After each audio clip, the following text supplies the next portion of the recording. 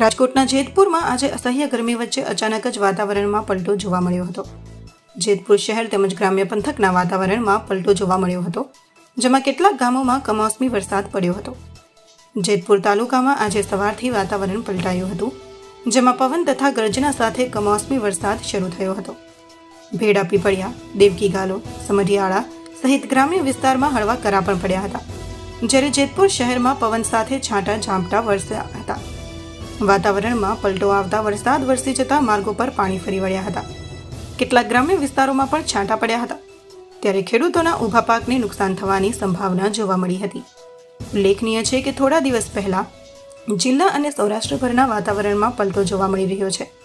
ગઈકાલે જામકંડોરના પંથકમાં બપોર બાદ અચાનક વાતાવરણમાં પલટો જોવા મળ્યો હતો.